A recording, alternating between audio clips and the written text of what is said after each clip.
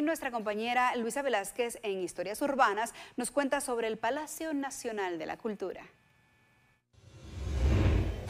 En enero de 1939 inició la construcción del Palacio Nacional de la Cultura, culminando cuatro años después. Esto durante el gobierno del entonces presidente, el general Jorge Ubico. Esta obra tuvo un costo de 2.800.000 quetzales y esta es parte de su historia.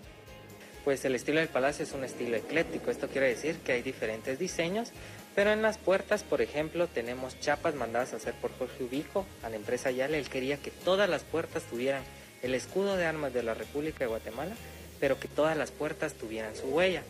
De hecho, cada patio cuenta con cinco arcos en el segundo nivel y cinco arcos en el primer nivel.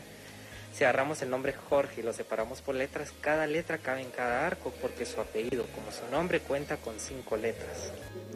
Cada detalle con el que nos encontramos en los pasillos de este palacio tiene su historia y también sus curiosidades.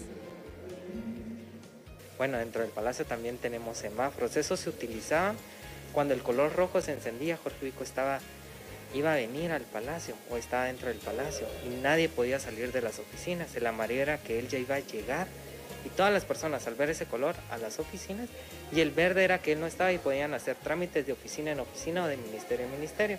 Este sistema él lo tenía porque dado que en el segundo nivel se encontraba la presidencia de la República, el Ministerio de Gobernación y Justicia, el Estado Mayor, entre otras dependencias, su sistema era así, ¿verdad? Aparte, la historia nos recuerda que él es el último presidente dictador de Guatemala y así era su sistema, estricto, ¿verdad? Otro de los detalles que llama la atención de acá del Palacio Nacional de la Cultura son sus vitrales y el significado de ellos.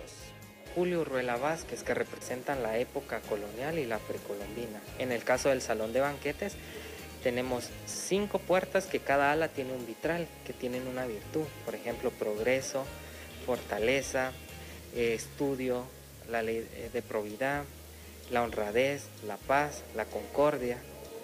El Palacio Nacional de la Cultura ha sido declarado monumento histórico que definitivamente representa a nuestro país. Esto es parte de las historias urbanas que le presentamos de nuestra bella Guatemala. Con imágenes de Vilar Martínez, reportó para el noticiero de los guatemaltecos, Luisa Velázquez.